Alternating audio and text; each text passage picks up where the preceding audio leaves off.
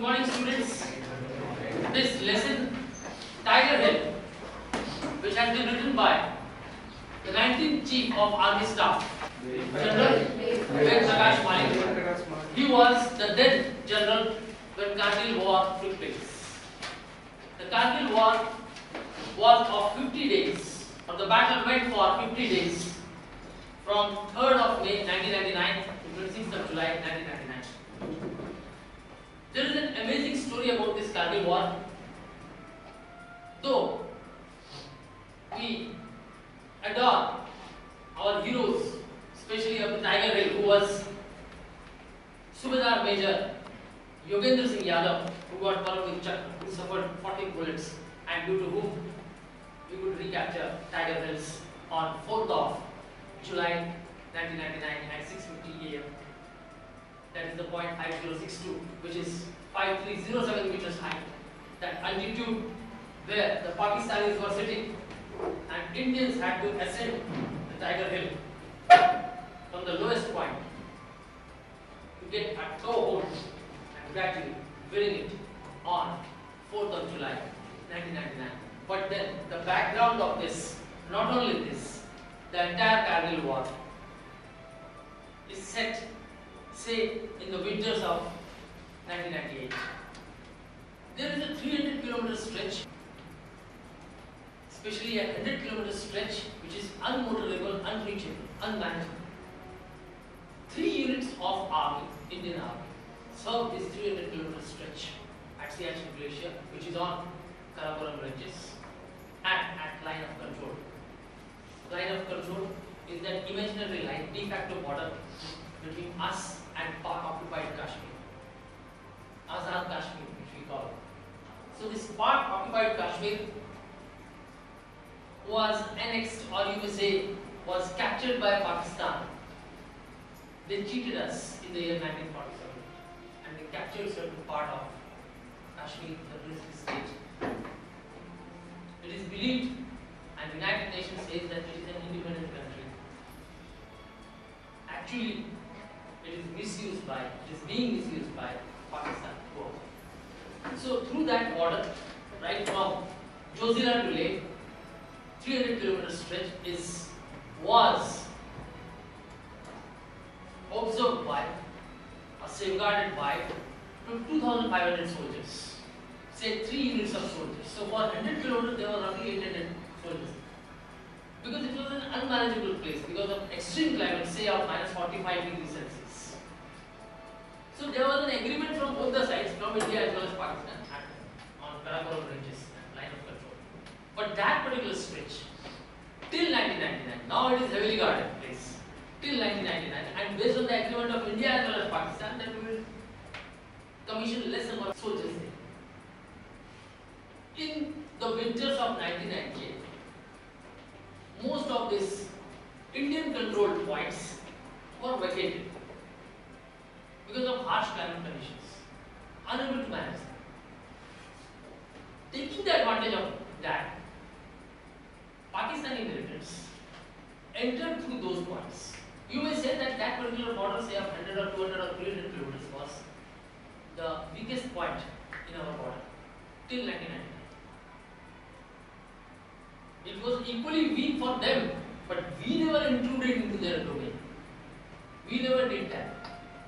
They took advantage and they entered, I terrorists or militants or mercenaries, they entered into our zone. Right? They entered into our domain, make it full size.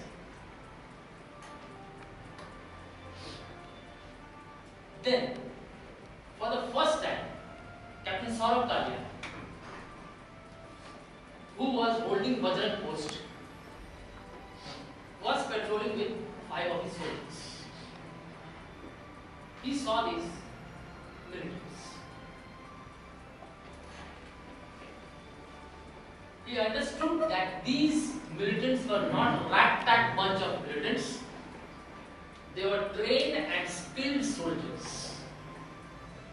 And he could very well establish that they were Pakistani soldiers disguised in militants, as militants. He was the first person to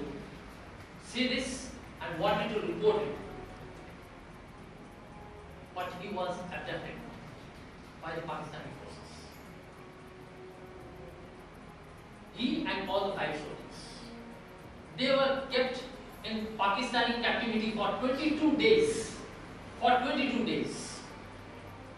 And their body parts were mutilated. Iron rods were put in their eardrums. Now, this is Barkha Dutt. At the same time, you see page number 55, the second paragraph.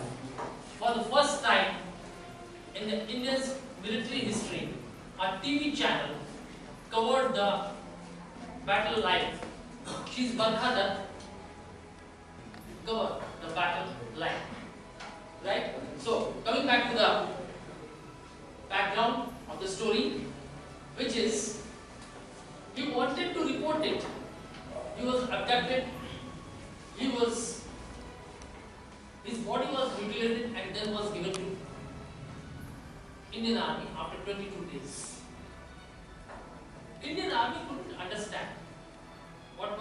Actually because there is a different strategy to deal with militaries.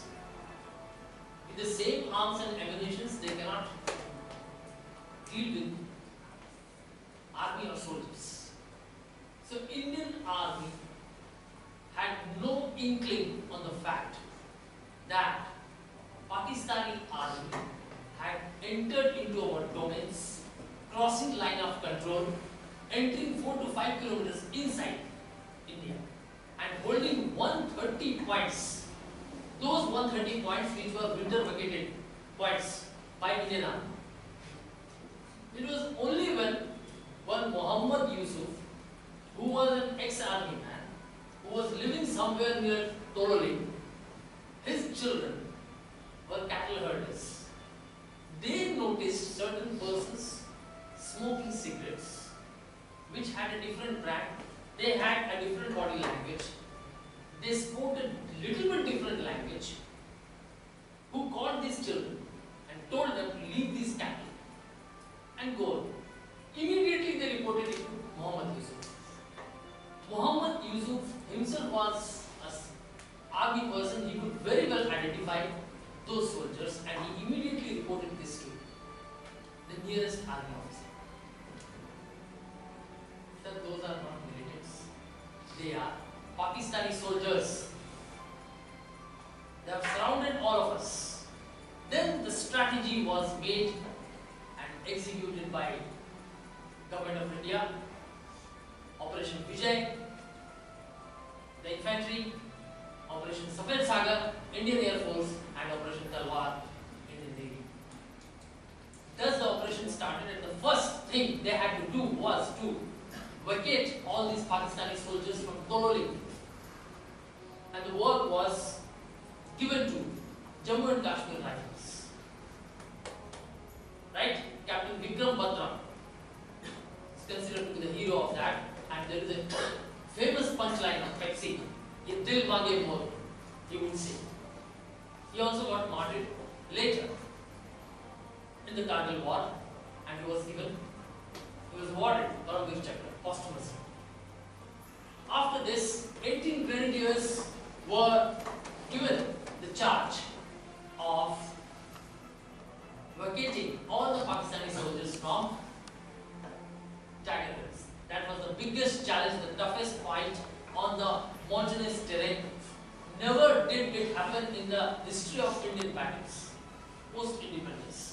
Considering 1947, where they had occupied our Kashmir, some parts of it. Considering 1965, then 1971. 1971 war is very famous, after which Shimla Agreement took place. And all of you all must have seen the movie Border, right? That Longewala battle which took place. Bangladesh was liberated, right? So, but this one, Kargil war was a totally different one. First, we had to ascend that hill, our own hill, to capture it, to recapture it, to reclaim it. Second, most of the soldiers, most of the heroes who got martyred were aged between 22 and 25. All were young. That valor,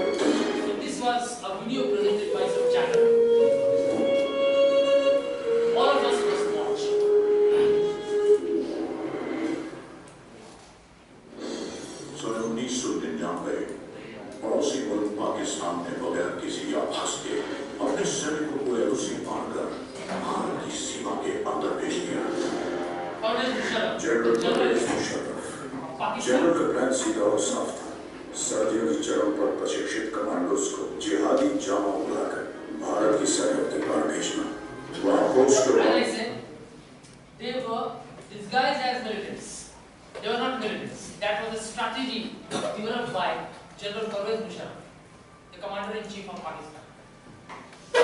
It was a de facto rule of the Prime Minister at that time, Nawaz Sharif. Actually, it was being controlled by General Pervez Musharraf. The then President of the United States of America, Bill Clinton, also intervened and warned Pakistan to pull its army back there was tremendous pressure from all sides.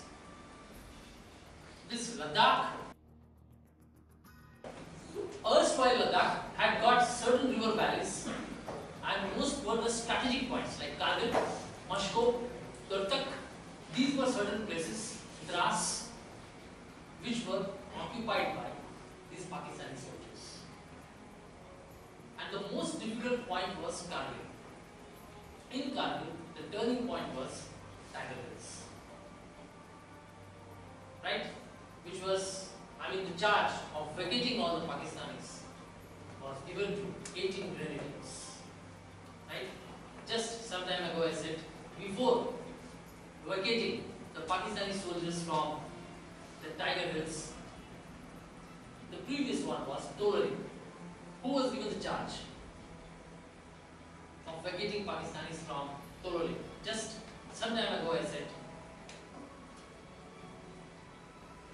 Vikram Batra was the hero of that particular Jammu and Kashmir Right?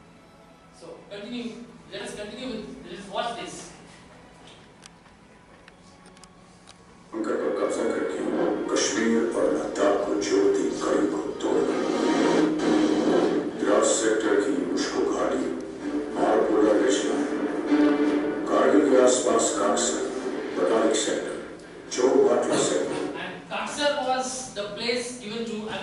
Vikram Batra was गायच्या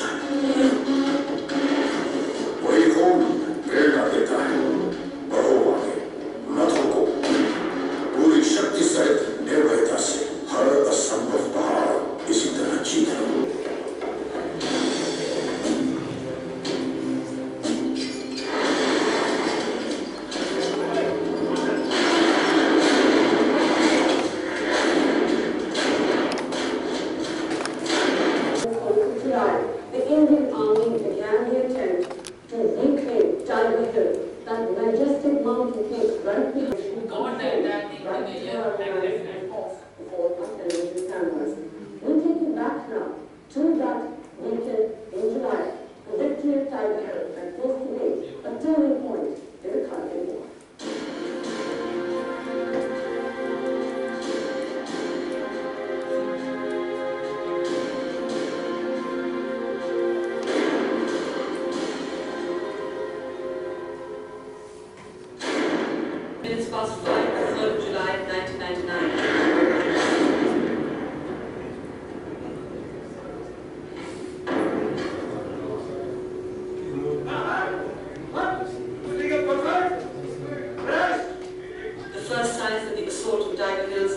is about to begin.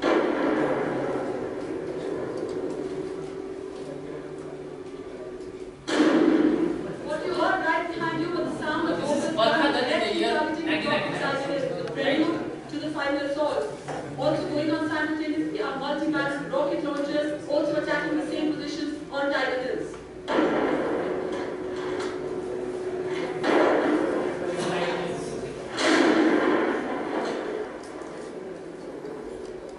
Nearly 3,000 men, three different regiments are getting ready to put their lives on line.